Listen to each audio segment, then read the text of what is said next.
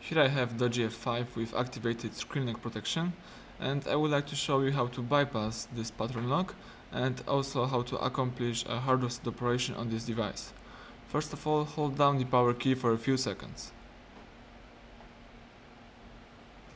When the appropriate menu appears on the screen, choose power off and confirm this operation by tapping OK. Wait until your device completely switched off and afterwards use the following combination of keys. Power key and volume up. Hold down together these two keys for a few seconds. Let me do it.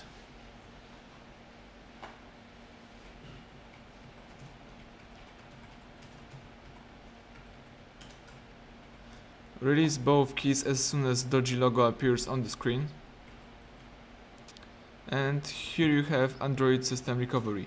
You can navigate here by using both volume keys, volume down and volume up.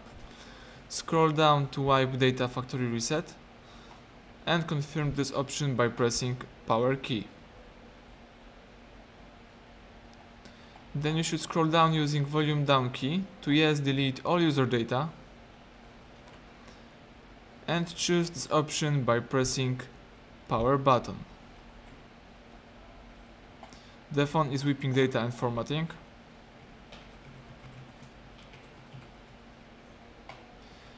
Now all you have to do is simply press power key in order to reboot system now. The device is restarting and rebooting.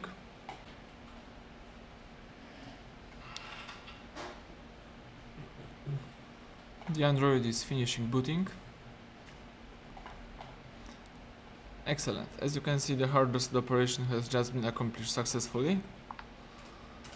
You can start using your phone and as you can see there is no pattern lock on your device. Thank you for watching and please subscribe our channel and leave finger up under the video.